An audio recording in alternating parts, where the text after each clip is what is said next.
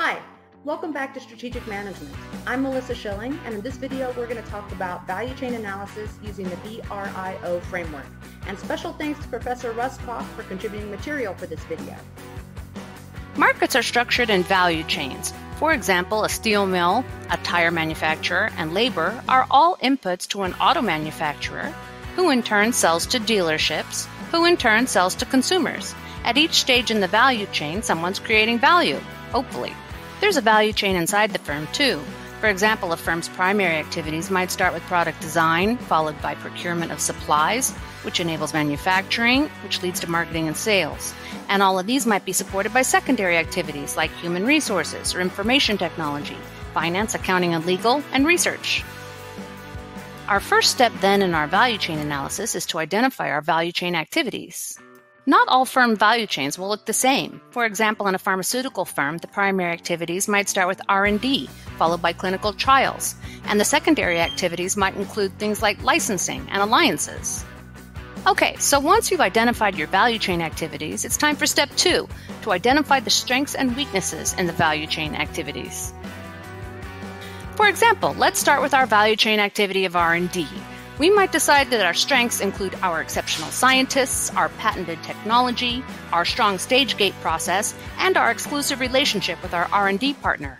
On the other hand, we might think we have a weakness in that we have a smaller R&D budget than our competitors. Now it's time to move on to step 3, where we analyze whether any of our strengths are sustainable competitive advantages using the VRIO framework. V stands for valuable, as in, does it create value for the firm, either by decreasing costs or increasing customer willingness to pay? R stands for rare, as in, do few or no other competitors have the capability or resource? I stands for inimitable. That is, is it difficult for others to imitate or substitute the resource? Something only stays rare if it's difficult to imitate. O stands for organizational support. That is, is the right organization, infrastructure, assets, and culture in place to leverage the capability or resource? For example, suppose you're a company that designs Formula One racing cars and your engineers come up with a way to make more aerodynamic bicycles, but you don't have manufacturing or distribution facilities in bicycles, and you don't really see yourself as a bicycle company. You could have an amazing advantage in this technology yet struggle to deploy it. Okay, so now we're going to apply our VRIO analysis to our R&D strengths, starting with our exceptional scientists. We might decide, yes, they're valuable, they are rare, they are difficult to imitate, and we have good organizational support to leverage them. So we decide our exceptional scientists are a sustainable competitive advantage.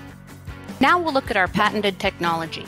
We might decide that the kind of patented technology we have is valuable and rare, but it's not actually difficult to imitate, and there's only modest organizational support for leveraging it. Therefore, it's a potential advantage, but not a sustainable competitive advantage at this point.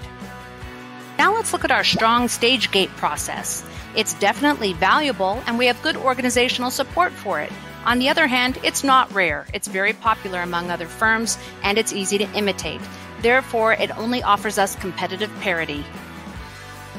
Now let's look at our exclusive relationship with our R&D partner. We might conclude that it's valuable and rare and that we have good organizational support to leverage it. On the other hand, if we think there are similar firms our competitors could partner with, we might be worried that it could be imitated. Therefore, it only offers us a temporary advantage. Now we're ready for step four, where we assess the strategic implications of our analysis.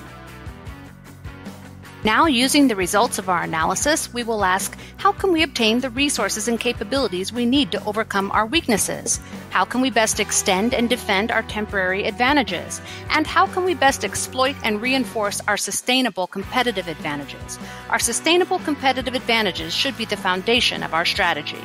A rigorous understanding of our advantages and disadvantages is key to formulating a winning strategy.